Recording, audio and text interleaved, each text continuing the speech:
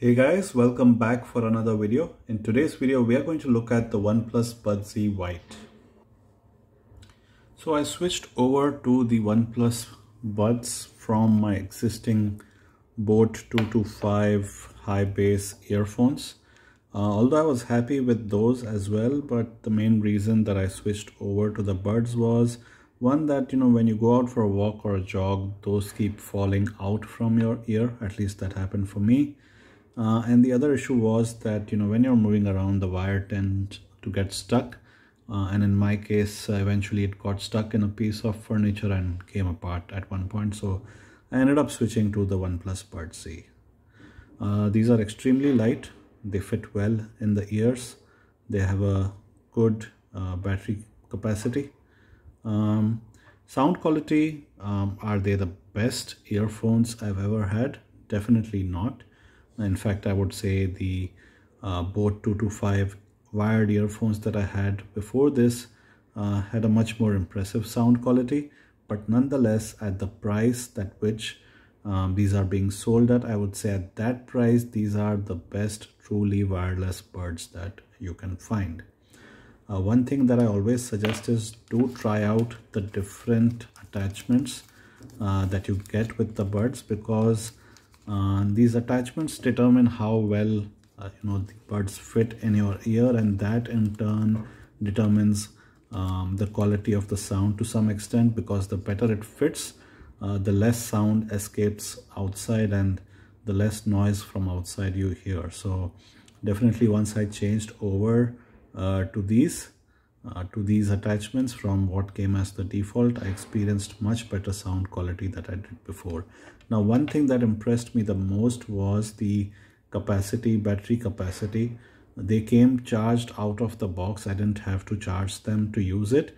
And that charge lasted me almost a month with the sparing uh, amount of usage where I used it for about 15 to 30 minutes uh, once every two days. And I didn't have to charge these for a month um, and the great part about these wireless buds is that you can keep the charging box or the storing box charged and the moment you put the earphones uh, back into the box the earphones start charging.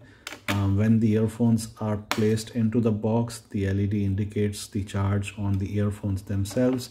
When you take them out of the box the LED indicates the charge of the charging box now when you take it out of the box for OnePlus phones uh, they are in pairing mode soon as you open up the box.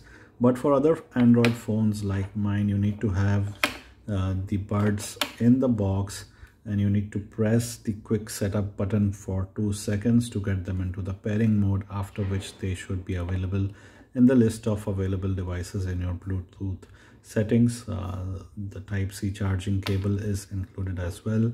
Now there are some touch functions um, that you can use by tapping or pressing on uh, the touch area.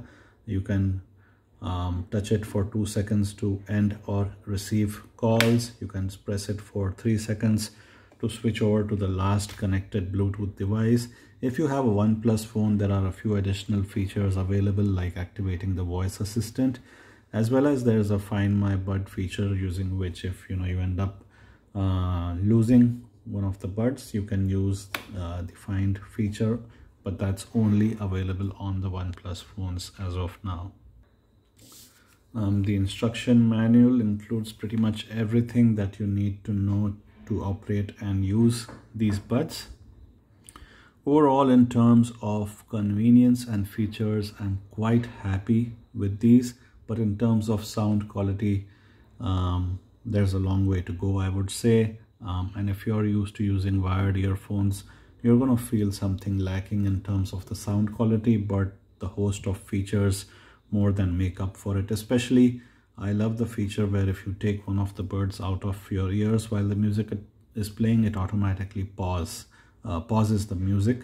And when you put it back in, it restarts the music from where you left off. So that, in my opinion, is a great feature um, that you don't get on wired earphones today so overall if you're looking to buy um, truly wireless buds and uh, you have a budget of around uh, two to four thousand rupees. I think these are a great buy. Of course you can get uh, buds with much better sound quality but those are I would say very premium priced and uh, not everyone would want to go in for those. Let me know your experience of using truly wireless earphones or any kind of earphones that you've been using um, whether you've been enjoying those or you're looking to buy something new.